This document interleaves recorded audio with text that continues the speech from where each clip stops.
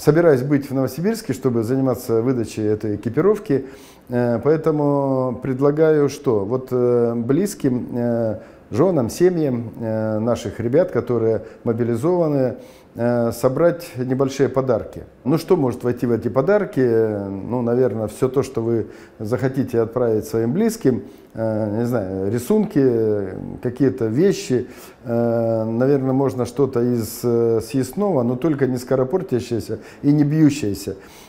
Поскольку нас достаточно много, братчан, э, я прошу вас не комплектовать большие посылки. Вот, давайте определимся до 5 килограмм. Эти подарки нужно будет до четверга, 13 октября, до 18 часов доставить или в офис партии «Единая Россия», он расположен здесь, Э, на улице Ленина, вы знаете, или в комитеты по управлению районами. Они тоже находятся по районам, вы знаете. Еще раз повторяю, четверг до 18. Затем мы их э, погрузим в машину, автомобиль, которая пойдет в Новосибирск.